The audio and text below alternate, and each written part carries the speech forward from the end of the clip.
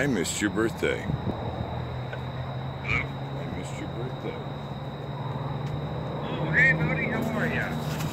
I'm alive and well in spite of my own dumb, corrupt ass. Can you believe that? In, in spite of what? In spite of my own dumb, corrupt ass. Oh, well, there you go. Despite what all the rumors Art Volo is spreading, I'm still alive. oh, stop, listen, I don't want to hear any of that stuff. Good. Pretty- Art Polo's not spreading any rumors. Good. I'm glad to hear that. So anyway, I was uh, at the Walmart where the kid got shot today in Amarillo, just two days before. It makes you realize how precious life can be and how quickly things can end. Between that and Orlando, the girl from the voice getting shot, and then the kids in the nightclub. What the fuck is this country coming to? Well, it's, look, it's like, you know, at the end of the day, dude, there's too many guns and there's, and there's too many, there's too many people that have access to the, uh, Yeah, but you got Donald Trump saying the kid was from Afghanistan. He was American born, you dumb shit. Where's he getting his intelligence from? A cardboard box? But the, but the point is, he doesn't give a fuck, Kurt. He just he just spouts out, dude. That's all he's doing. All he wants is the White House is an agenda so he can grind an axe with anybody he feels owes him money.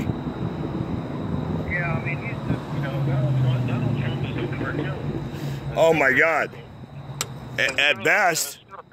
And sooner America realizes that, the better, because it's just like he's he's just he's saying some really awful shit, and he's and unfortunately he's riling up he's riling up the conservative. Well, and what's scary is here in Texas, where everybody now in this region I'm in, they have a law. You can carry a weapon on your holster as long as you have an open weapons permit. You can have concealed or open weapons now here in Amarillo, Texas. You can carry a gun on your belt at all times.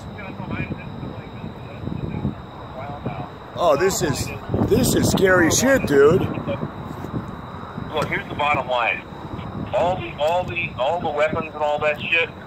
Carrying a handgun is a hell of a lot different than carrying a semi-automatic or an automatic rifle or, or weapon. Well, and how are these people even getting registered for this shit? That's what blows me away. And the guy also applied for grade three armor, which is higher than DOD. What the fuck, man? That should have been a red flag. Yeah, this is this is, this is full of bullshit, full of too many holes.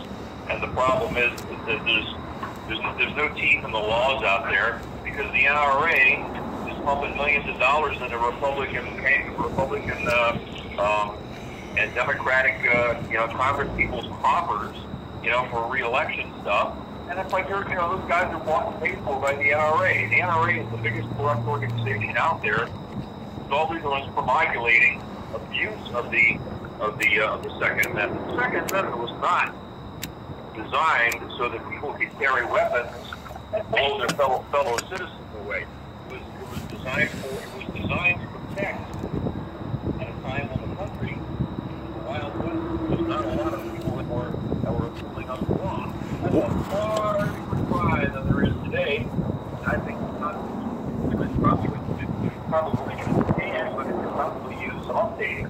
And I think that's what a lot of people feel that, are, that have a sensible, you know, thought about this. Nobody's trying to take guns away from anybody. I think people are just trying to take, you know, these these these, these destruction mechanisms, these destruction weapons away. Well, let me share a thought with you. You're not going to go hunting with a semi-automatic. Yeah, think? Or an AK 47 with 100 rounds? Yeah, that's, that's all, that's all bullshit. So, you know, those are just weapons, of, those are killing weapons. So, and it's like the sooner that the sooner the government wakes up and does something about that, that'll put a stop to some of it, not all of it. It's going to take years. Well, let me just share a thought with you, Joel, because I was born into the world of politics and who's who's and all that horseshit. I didn't vote for it, I was just assigned it at birth. First, all sides lie. It's been control on the same bullshit because I've been married into the other side and I've been married all the way into the White House in my first marriage and second.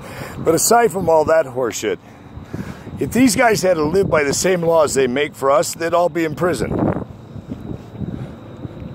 What was that again, please? If Congress and Senate had to live by the laws they make for we the people, they'd all be in prison because of all the kickbacks. This year alone, they will make $10 trillion in third world interest for moving jobs to third world countries because they help own the factories.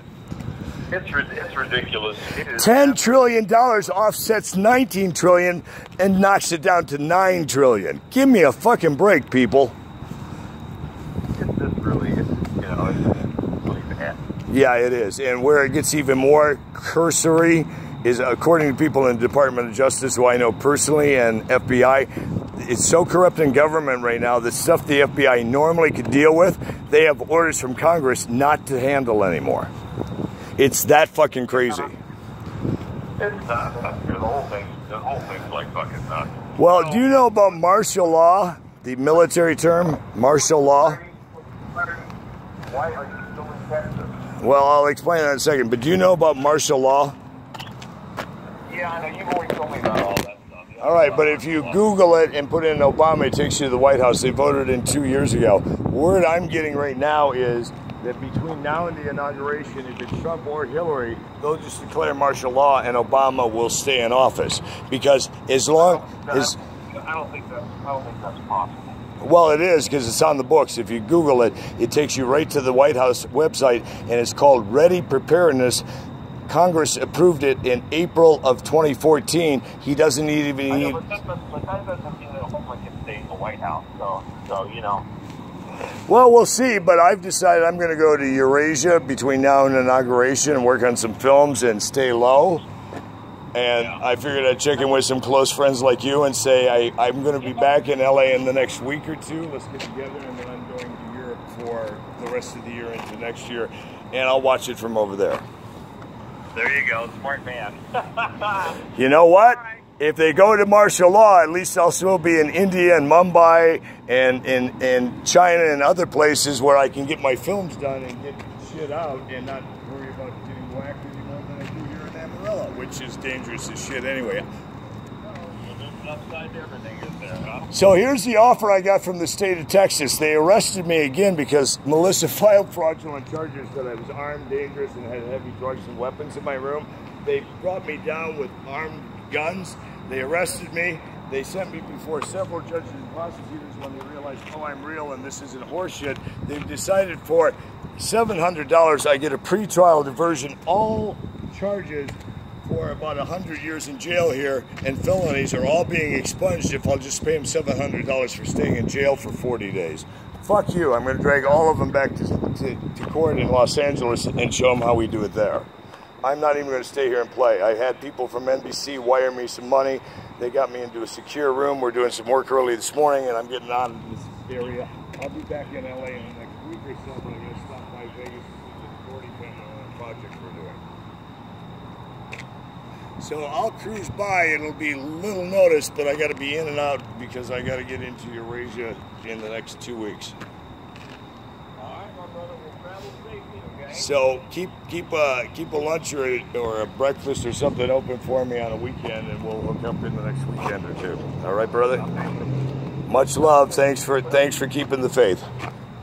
Be careful. Uh, believe me, I'm trying. It's fucking dangerous out here. All right, bye-bye. Much love.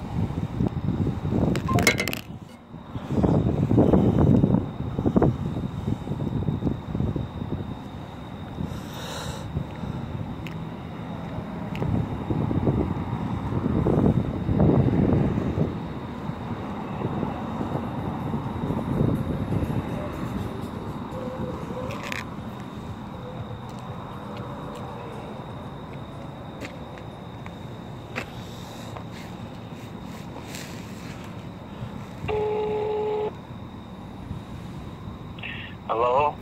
Aziz, Yes. I was on the phone with a major trade publication who wants to do a story about Big going to Eurasia for the next year so he doesn't have to be part of martial law in the United States.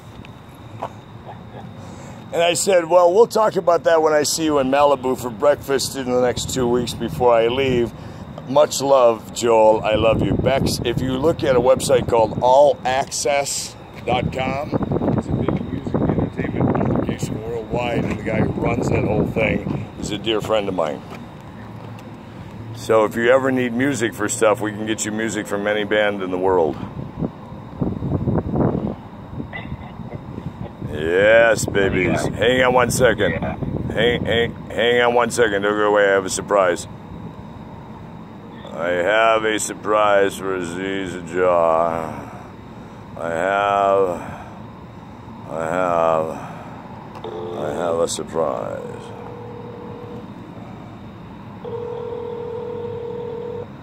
I have a surprise.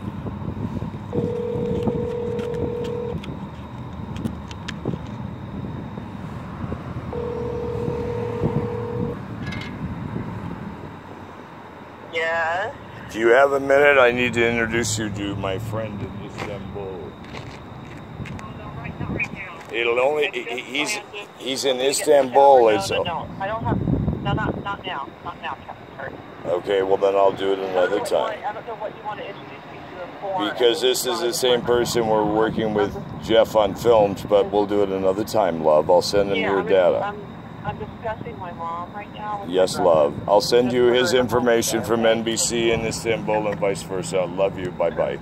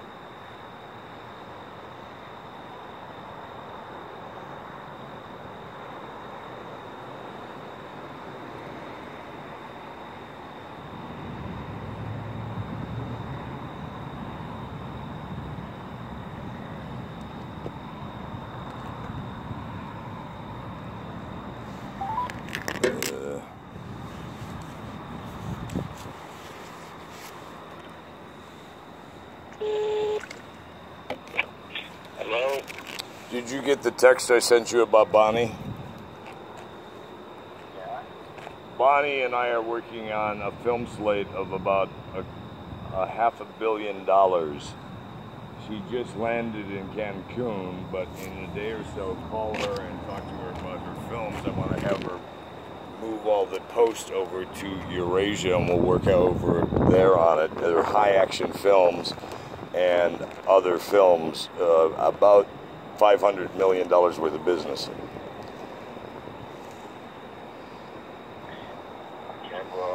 I'm sorry, is that too small for you? I'll find something bigger then.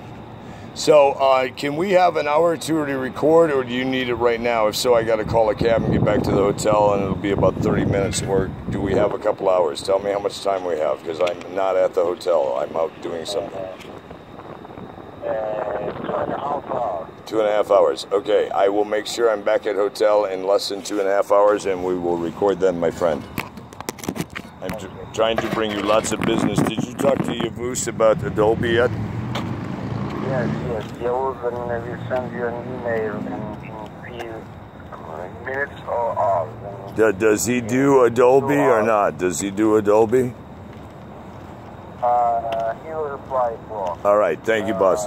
I said to him and uh, he said to me, and yes, I can do that job. Okay, good, good, good. All right, we'll talk in uh, two and a half hours. What time is it right now? Hang on, hang on, hang on. Let me look. Uh, fuck, what time is it? 10.56, 12.56. Okay, I got the time. Good. I just needed to see what time I need to be out of here by. All right, I'm getting some intel. I'll talk to you soon. Okay, all right. Bye bye.